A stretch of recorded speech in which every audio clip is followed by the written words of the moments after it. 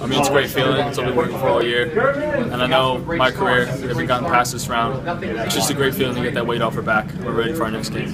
What does it mean to you guys in this program to get past that, that second round hump like you talked about? I mean, like I said, it's a huge weight on our back. We're already looking forward to the next one. I mean, we take it one game at a time. This is nice. We'll celebrate tonight, but then we'll get back out of practice tomorrow. Get ready for the next one.